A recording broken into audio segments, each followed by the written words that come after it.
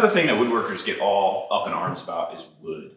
Well, maybe that's because the medium that we're using all the time. Um, but you'll notice, especially among hobbyists, that they'll get these, they'll see something really beautiful and then they'll just be like attached to it. And the one thing that you need to remember is the beauty of wood goes much deeper than the color and texture on the surface. Every wood behaves differently, every wood ages differently. Um, but I'll start by saying something about exotics. Uh, exotics basically just means a wood species that's not native to where you live. I used to live in the Caribbean. So native species were things like lignum vitae and mahogany. And so in that setting, uh, North American uh, black cherry would have been an exotic. If I lived in West Africa, um, maple would be an exotic and mahogany would be a native. Um, so it, when you start thinking in those contexts, you can start understanding that you actually live wherever you live around the world. You live in a treasure trove of beautiful material. And there are people in other parts of the world that your beautiful material is getting sent to. And there are people where you live that are bringing in beautiful material from other parts of the world.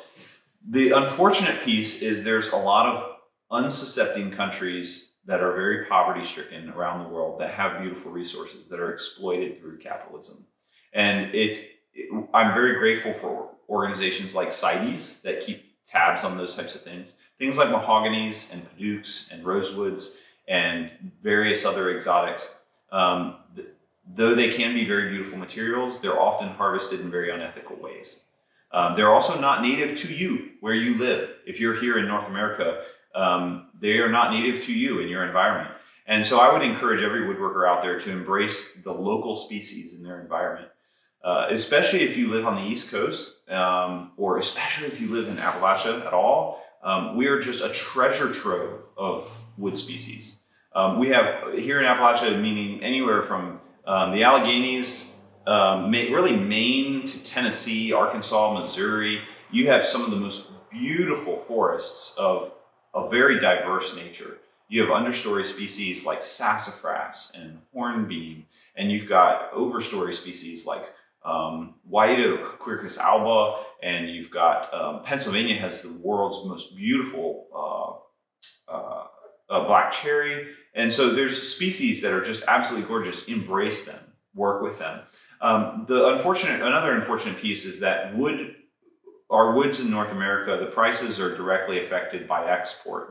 Uh, countries, most of the wood purchasing corporations around the world are based out of China, Saudi Arabia and they are exporting our hardwoods at very high rates um, for construction overseas, uh, especially things like white oak and walnut. Um, and so then that affects the retail prices for a furniture maker here in the US as far as what they're paying per board foot. Um, another thing that's greatly affected wood prices, let's say something like white oak, is the bourbon industry. I'm a Scotch drinker. Um, bourbon barrels are made out of Quercus alba. It's a very specific species of North American white oak. Um, in the oak family, there, there are, believe it or not, there are more species of quercus, of oak, around the world than any other single species. Uh, in Virginia alone, I believe we have somewhere between 27 and 35 different species of oak present in the state of Virginia, which is where I live. And most of those get grouped into two groupings, uh, a red oak and a white oak grouping. Um, the white oak grouping is basically all the closed pore uh, uh, species of oak, and the red oaks are basically all the open pore species of oak.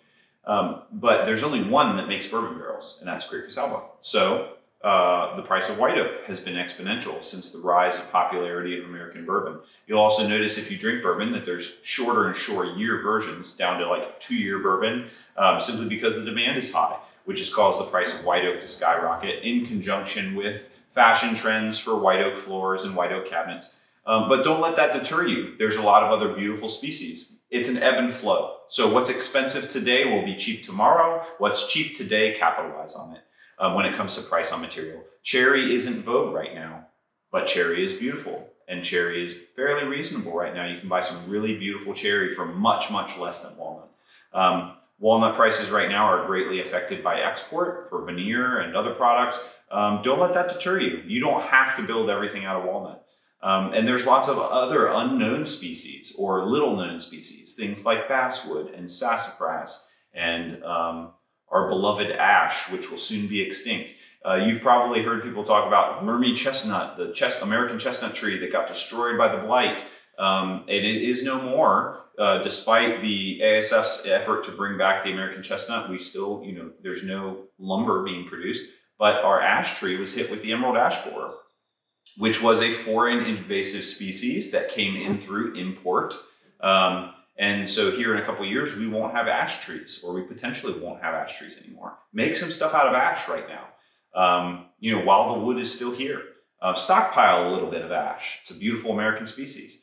Uh, so when you think through your wood choices, think through what's native to you, what's local to you, what's growing in your backyard. Take a walk through the local park and with a tree identification book and really learn to know your material.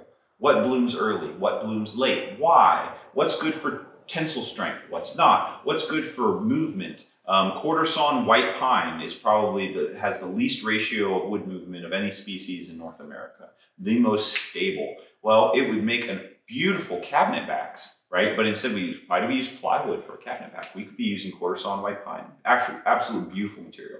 Um, it goes the same to say for a lot of other, you know, you have, you have ring porous woods, you have diffuse porous woods, semi-diffuse porous woods. So educate yourself on your materials.